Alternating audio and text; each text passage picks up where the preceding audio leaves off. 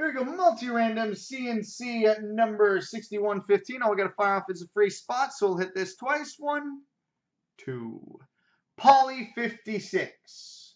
So there we go, boys and girls.